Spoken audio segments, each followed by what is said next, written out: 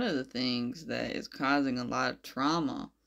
And, you know, as an ascended master, you have to deal with it because um, it's the only way these people that are on a lower vibration understand.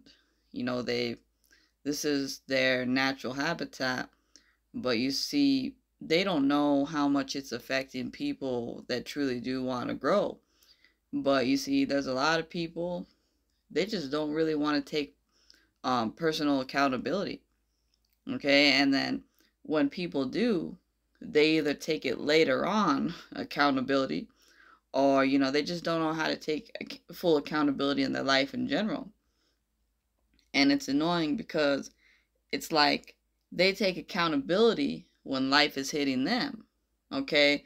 That's another thing that I have strange feelings with is people be like, I'm sorry because you know God finally showed me a lesson. I'm sorry and all this other bullshit. It's like you know you're taking late accountability. You know what I mean? Like you. So it's like it's crazy. They do that shit in relationships where um they will always say you're the fucking wrong person, whatever it is. But the thing is, they'll say they always say that. But then you know life will do a number. I mean, even friendships, toxic ass, you know, friendships they'll come around years later and they'll be like, oh, I'm sorry. I'm sorry. And it's like, you're only sorry because of the shit that you went through. You know, you should be actually taking personal accountability in your own hands. And actually, you know, some people they'll be doing the fucking half truth. They'll give the fucking half accountability, okay? Because what that technique is called is a technique of a narcissist, okay? They're a person to where they will be like, yeah, I'm going to just give this person half of the story without, but really, a lot of the shit that I did, I'm actually at fault for it. Okay, they don't want to. So basically, what it is is they still got some pride swallowed and you know swallowed up in them, and you know they don't want to admit it fully.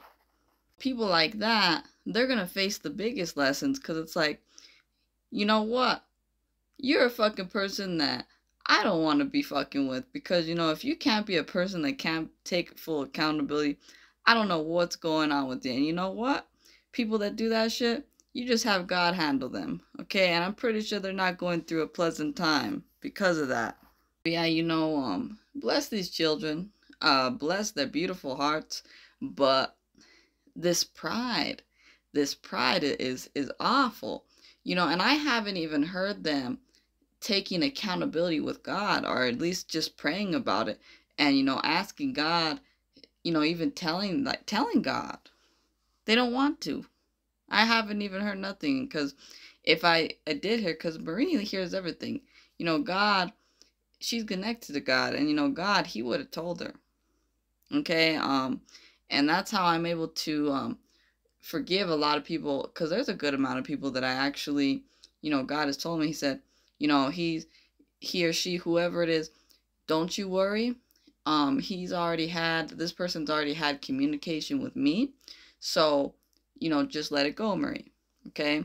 So that's why I'm able to forgive people is because um see, they could have conversations with God and not have them directly with you, okay?